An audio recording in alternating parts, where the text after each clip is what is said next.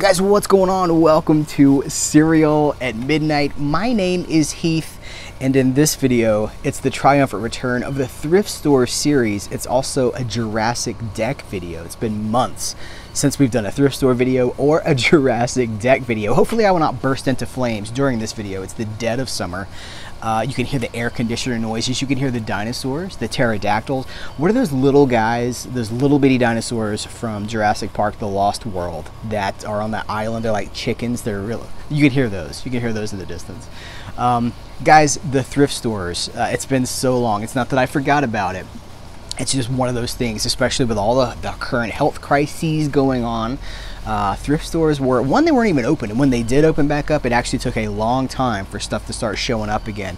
What i'm going to show you here i've got an out of print dvd we've got some movies i've got a ton of paperback books here. If you're into the men's uh, paperback fiction like the men's fiction paperbacks this is the thrift store video for you i've got a lot of stuff here uh, but this is the culmination of like 10 thrift store visits. This is not one visit. So let's just jump right into it. Uh, we also have this handy dandy stand here so I don't have to sit there and hold things up. How does that work? Yes, guys, Airheads. Uh, this is out of print. I do not think that this is currently in print. And it's weird because you can still find some stock. Like it's not super obscure because listen, there are probably a million of these things out there. But um, it's not a movie that I own anymore. I bought it on VHS. I bought this movie on DVD when it came out on DVD. And it's one of those movies that like, I like it, but I don't love it but then you factor in the rarity and the scarcity and like oh so if i don't have airheads i might not get to see this movie again because of i mean listen with the with the world the way that it, we see with what's happening with streaming services like i don't need to talk to you guys about streaming services right? Like those are not reliable as archives for our pop culture entertainment. So uh, own the stuff that you love or in this case own the stuff that you like and want to watch again and don't know when you might be able to do so again. That's why i picked this up. Listen it was it was a dollar fifty. Hopefully that shows up for you guys. It was a dollar and 50 cents. Uh, orange sale, uh, this was not any further discounted, but some of the stuff that I'm about to show you guys was. By the way, this is in flawless condition. Uh, it doesn't look like it was ever touched. Again, I don't think it's a great movie, but I like it, and I, I even more like the idea of having access to this movie. Uh, on my own terms. Uh, Boomtown. This is a movie I'm not. I'm to be honest with you guys. I'm not familiar with this movie at all. Let's do that right there. Ooh, production. Um, Boomtown. This is a classic. It's an MGM movie distributed by Warner Brothers. It's got Clark Gable, Spencer Tracy, Claudette Colbert, uh, Hedy Lamarr, and it was directed by Jack Conway. What, what is the year on this? 1940. So I'm not familiar with this film, but that cast is incredible, and now I will be. And this was a dollar fifty, and it was 50% off because it's a great. That's what. That's the downside of the of the stand. You introduce a stand, the stand has to topple at least once. Bug on my finger. Um, $1.50 gray tag sale, an additional 50% off. So this was 75 cents. So uh, that was very, very cool. Again, this one, this one as well, um, virtually untouched. Yeah, this stand is already making problems for me. What? Do I regret it? I'm not sure. This may end up in the in the Jurassic yard. Uh, we've got a few more DVDs. Uh, these come from a thrift store here, you know what? Here's a couple of notes since we're already into this. Um, whoop, as I'm bumping the camera. Uh, I have cleaned everything that's here with soap and water, but I've left these price tags on so that you guys could see what we're dealing with. And it just got bit by an ant. Maybe the Jurassic deck was a bad idea for this video. Um, I've cleaned everything that's here, and uh, I've left the stickers on so that you guys can kind of see what the deals are themselves. Although this this 2.99 sticker is um, this was not $2.99. This was $2. This comes from one of my thrift stores that's decided to get cute. Uh, a lot of this stuff actually comes from thrift stores that are not my regular thrift stores. Like I've been doing a lot of, I had to take Bree to the dentist. Okay, so Bree went to the dentist, and I was like, you know what? I'm gonna go. There's a thrift store over here. I'm gonna go check this out. It's a T-Rex. Hey, hey T-Rex. Uh, so I go to this thrift store, and that's a story because I'm gonna tell you more about that when we get to the records. But um, my local my my hometown salvation army has gotten real cute with prices and i actually made like a rant video just for patreon.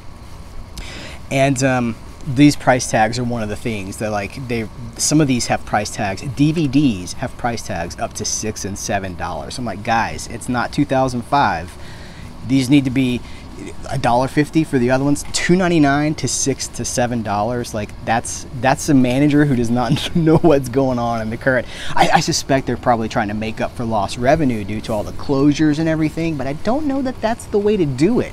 Uh, I would think you would want to clear that, especially since it's all donated inventory anyway, right? There's no profit margin; it's all profit. So I would think you'd want to push as much of that through um, listen, when I had to go up there to make a donation, and the line was out of the parking lot, so the stuff is there. You know what I mean? So, anyway, uh, two bucks for you're a good man. Uh, you're a good sport, Charlie Brown. This also has uh, you're the greatest, Charlie Brown. Charlie Brown, you're the greatest. I have a lot of these Peanuts DVDs. Uh, I know there's been some box sets. I don't have any of the box sets, but I do grab these every time I get a chance, and these are fairly cheap. You can find these for five dollars to ten dollars, even new in like a Walmart. But two dollars, I had to grab this one. So now that just adds to the to the Peanuts collection. Also, from the same cute thrift store, this still sealed Elvis DVD of Live a Little, Love a Little. Live a Little, Love a Little. it is still in its original Oh, it doesn't have a security tag. Anyway, it's still sealed. You guys can see the plastic wrap on that, right? Two ninety nine. It was two bucks. I would not have paid. I already own these. I have like every Elvis movie and every uh, in like past editions and stuff. But you give me a sealed Elvis DVD, the Elvis collector in me. What am I telling mama? Give me a sealed Elvis DVD, baby. I'm gonna pick it up every single time. Uh, this may be a good opportunity to pimp our video where we went to Tupelo to the birthplace of Elvis. It's one of my favorite videos and it's one of the least watched. I'm gonna link to that right there. I love that video. We actually, there's so much production. I wrote the music for the video. Like there's a lot of Heath in that Elvis video. So if you haven't seen it, check it out. Uh, last thrift store DVD selection. Uh, Batman and Robin. This is the serial. The, the Columbia? Is it Columbia? Uh, it's Sony. Yeah, Sony distributing Columbia. Um, it is a. Uh, this is the sequel. You know, we do so much serials coverage here at Cereal at Midnight. Uh, this is the sequel to the Batman serial from the 40s. I want to say this is maybe 46, 48, um, 49. Okay. This is the sequel. And this has been reissued on a two disc set. I think it's a two disc set from Mill Creek Entertainment. One disc has the original Batman serial, one of them has Batman and Robin. But this is the, the first pressing of this from Columbia, not Mill Creek. And it puts. Uh, it's two discs, so it has more room to breathe, which will mean less compression. I have the Mill Creek version. That's what I was going to use to cover that for cereals at midnight, but now I have this, which is actually uh, a really good thing. So I have variety. Respect my variety. Uh, records, guys. Let's talk about some records. Uh, the first one of these is just kind of a. This is an odds and ends thing. it's Olivia Newton-John. Physical. It's just. It's just called physical. I was gonna say let's get physical. It's physical all you Olivia Newton John fans out there, eat your heart out. Um, it's so rare to see things like this that still have. I haven't cleaned this yet, and it's honestly, it's not in great shape. Uh, it's got like a, I don't know if it's got a scratch right here. I don't know if you guys can see that or not. Anyway, uh, it was like, I think it was a dollar. But finding these in the original sleeves is kind of rare. Like I don't know why that is, but it's it. I find it to be far harder to find 45s in their original sleeves. I don't know if that's because like guys who hey peeps people who were buying 45s in the 70s and the 80s did you just throw the jacket away? I'm like what's up with that? I mean, so many people like okay one of my wife's friends mothers who's kind of like extended family for us gave me her 45 collection. Hundreds of 45s not a sleeve in the one of them you guys. Is just stacked and they're all scratched and they're all scuffed because of that. But um, you know I mean uh, I, I love having them but okay Next, um, this is so I got six records from a thrift store that I had. It's the one that I went to to the dentist. I dropped Brie off at the dentist, and then I went on to the um, to the thrift store, and I a lady and I walked in at the same time. I went to the DVDs and the movies, and she went to the records. And lo and behold, she hit jackpot. And so I'm like, I'm not finding anything on the DVDs, right? And I look over, and she's like, Oh my gosh, oh my gosh because we're in the south. Oh my gosh. And I go over there, and it's just like so much stuff. So Bob Dylan, um, tons of like high profile like Doobie Brothers, Eric Clapton, like really good stuff, like classic rock, like stuff that I'd be interested in.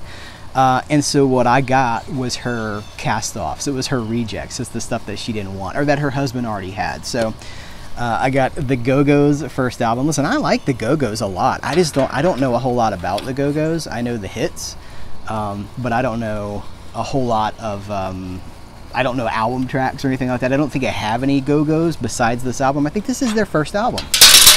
Okay, that's two. That's two times I've knocked this over. Starting to starting to regret it. Here's the back of the um, the back of the jacket. Here's Jane Wiedlin up here. Love Jane Wiedlin. Who you guys, if you don't know the Go Go's, but you know Bill and Ted's Excellent Adventure, she was Joan of Arc in Bill and Ted's Excellent Adventure. Multi talented. She can sing. She can act. Can she dance? Probably so. Um, she can do S and M shows because she's really into S and M apparently. She was on the what was one of it was one of those like you're locked in this house for a week reality shows. I can't remember which one. Um, one of those MTV shows maybe with Tammy Faye Bakker. I'm probably getting multiple seasons confused. Anyway, they also had Jose Feliciano. Uh, what is this album? Uh, and the Feeling's Good by Jose Feliciano. Now, isn't Jose Feliciano the fella that did Feliz Navidad? Is that Jose Feliciano? However, movie fans probably know Jose Feliciano better if you like Once Upon a Time in Hollywood, which I think most of us do.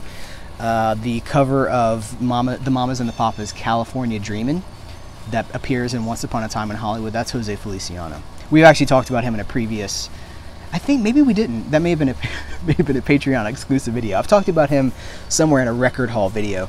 Uh, I grabbed the Cannonball Adderley Quintet.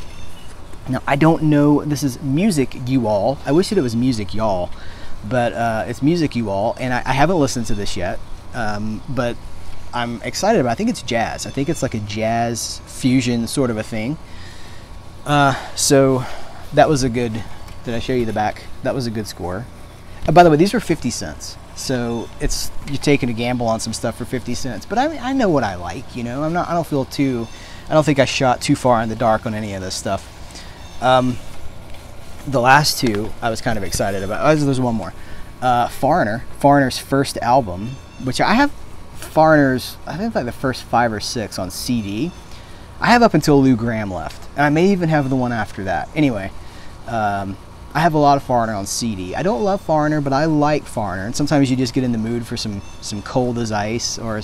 But Star Rider is the big one on here. If you guys aren't familiar, if you're familiar with Foreigner from the hits, like feels like the first time, Cold as Ice, um, uh, yeah, I would I would go with Star Rider because that's like one of those ambitious, progressive anthem songs.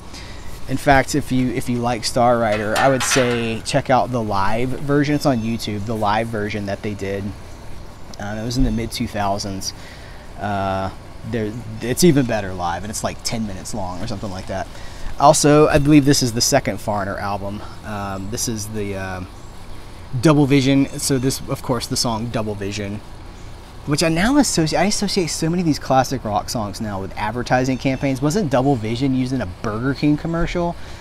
They I, when these guys license out their music, when these when these fellows, when these musicians license out their music for commercials and the like, I, I don't know if they're thinking about the ramifications on their music. You know what I mean? Um, because now I like I associate Led Zeppelin with like rock and roll music. The Led Zeppelin song I associate that with Cadillac.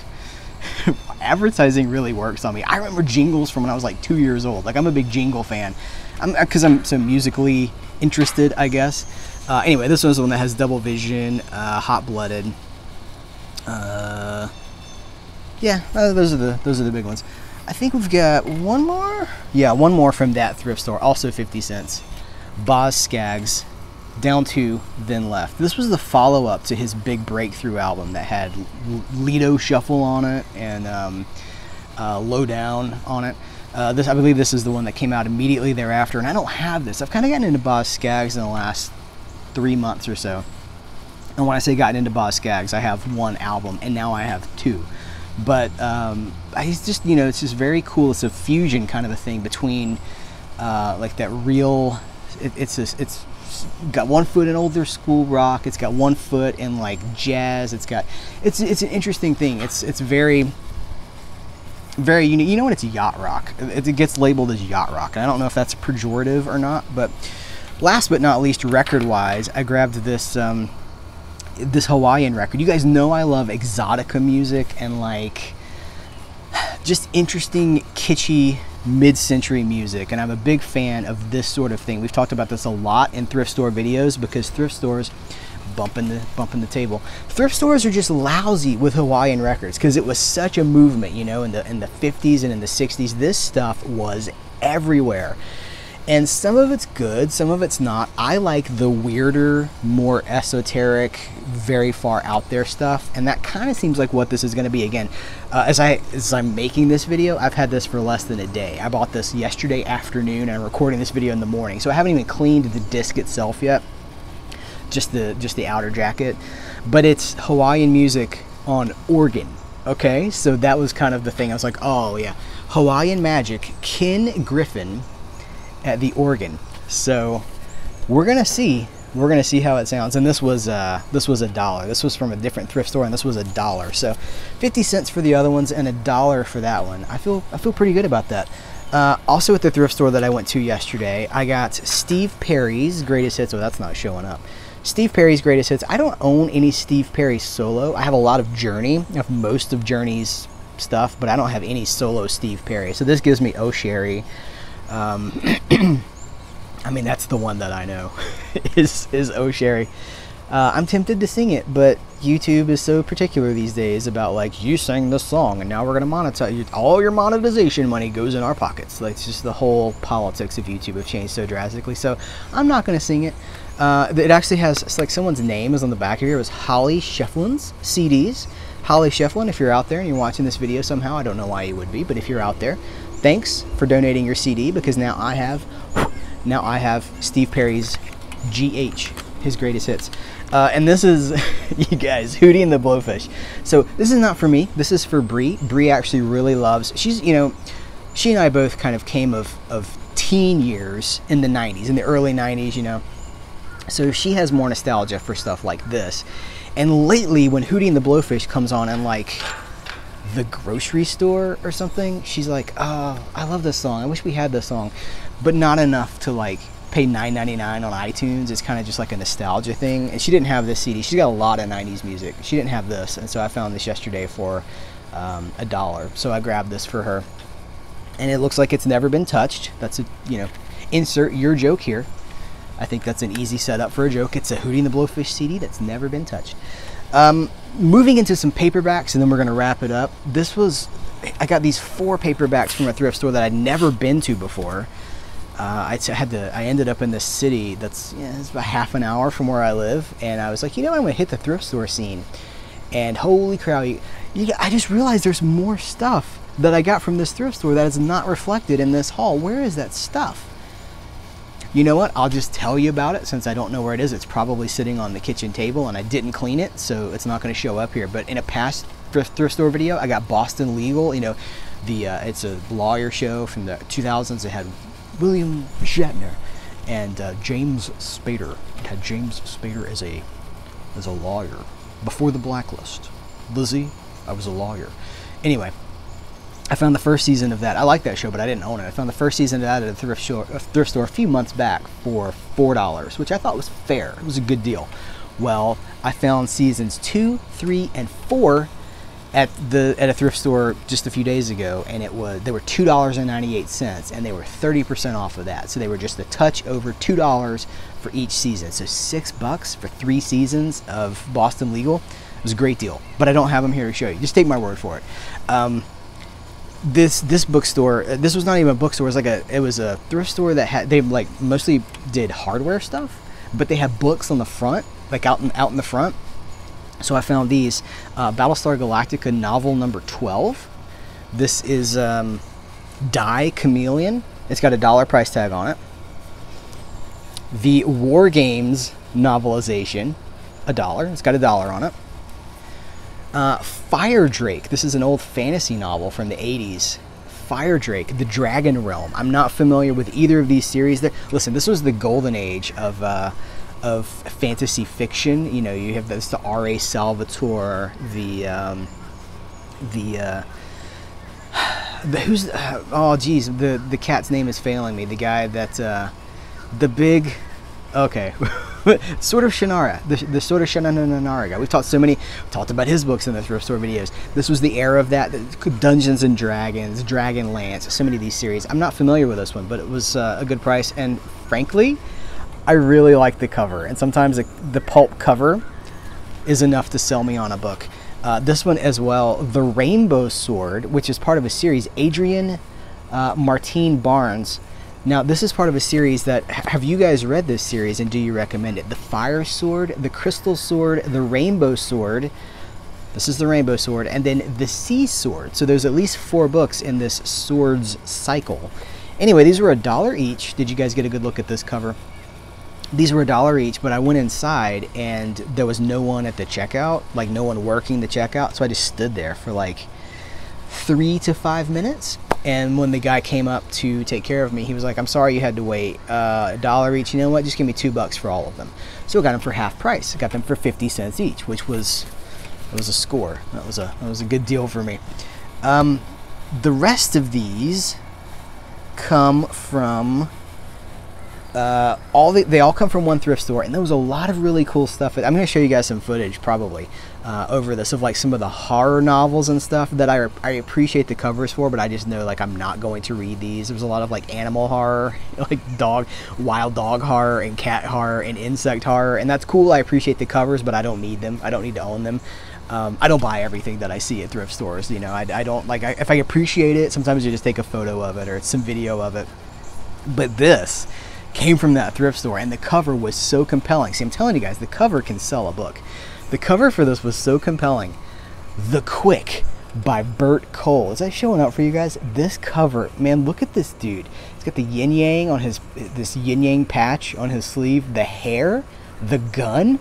I was like, what is this book? It's science fiction. Um, as fierce a, a military science fiction novel as I've ever read basically this character's name is Shaman.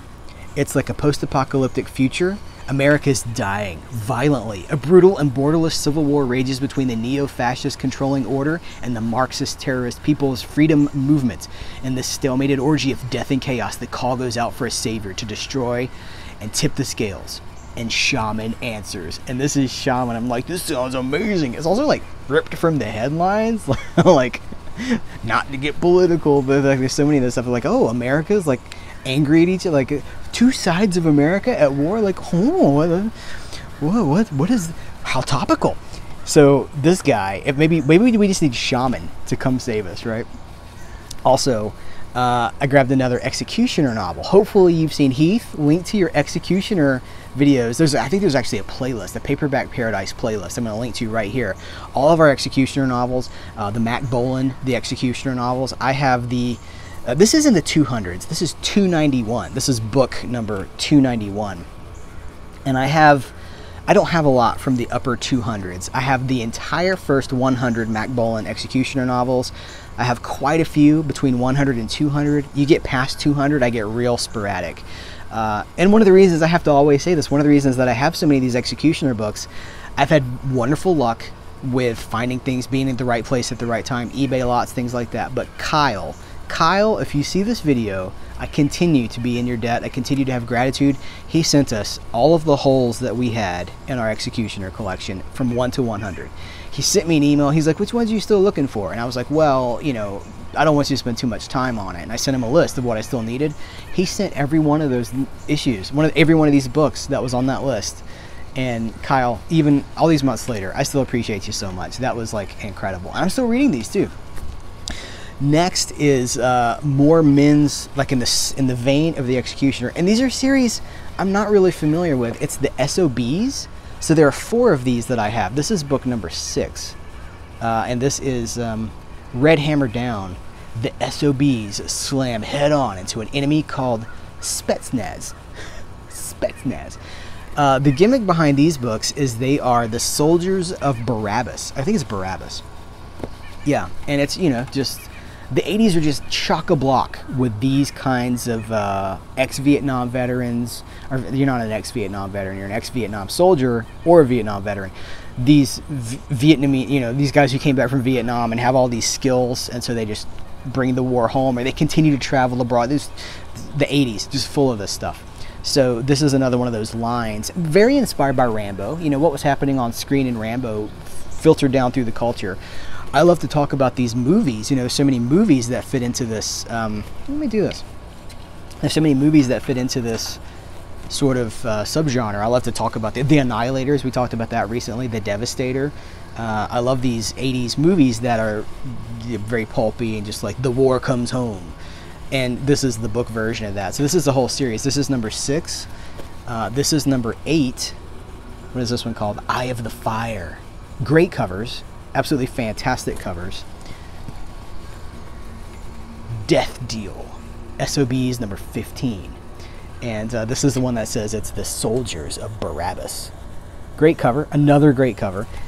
Who, who has experience with this series? I've never seen I, have never seen this series before. Maybe I've seen it and it just went right over my head because at the time I just wasn't ready for it. I wasn't interested in it. But this is book number 17. It's the 17. Point Blank.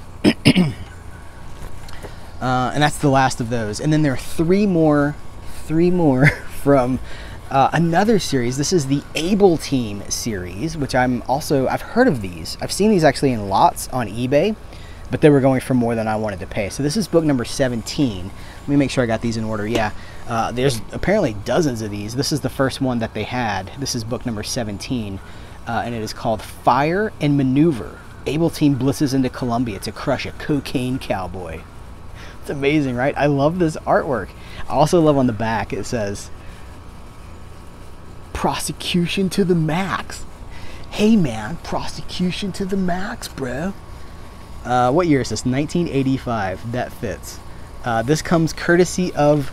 It's got a. I used to hate these, these stamps and stickers and stuff. Now I love these because they give your.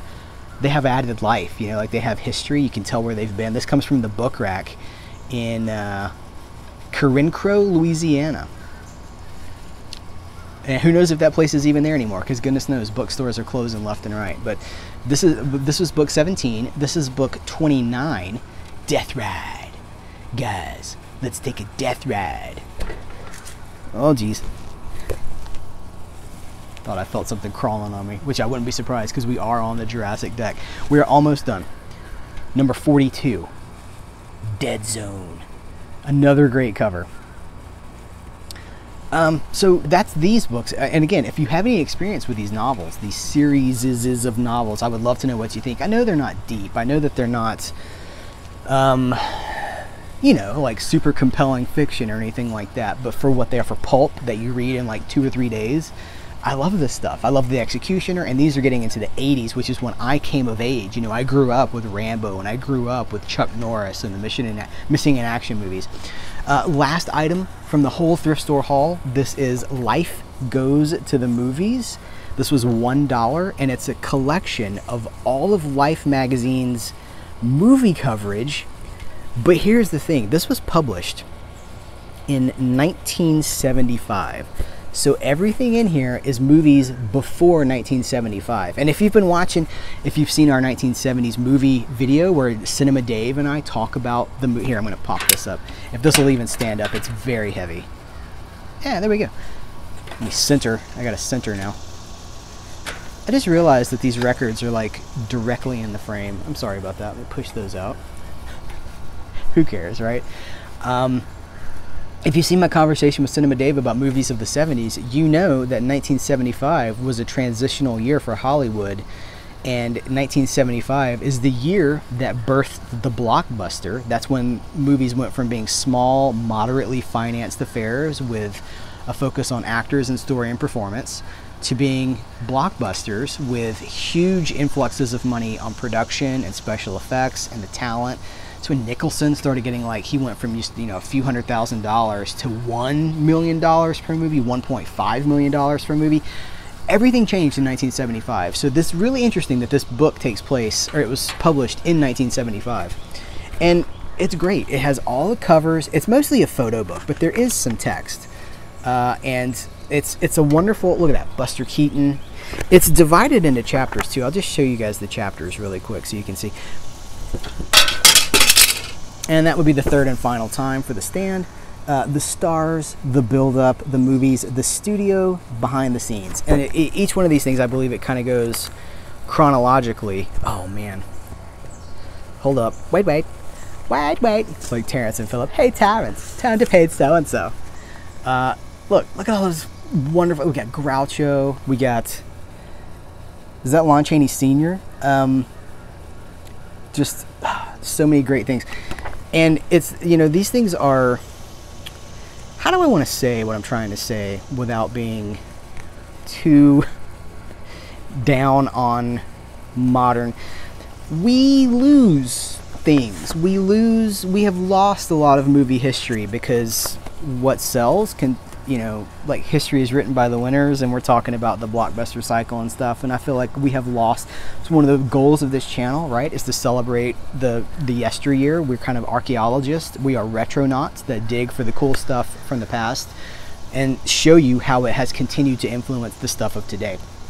And this book is a great resource for that because it's. Uh, nothing but a celebration and it's not like dry dead text on a page it's vibrant pictures from the time that it came from so i don't know just my passion about this channel to you guys guys that's going to do it for this thrift store video video um, i don't know when the next one's going to come because it's just really hit or miss one thing that i've learned since the world changed several months ago is that uh, thrift stores are more inconsistent now than ever before they were already really inconsistent but with everything that's going on. I don't know.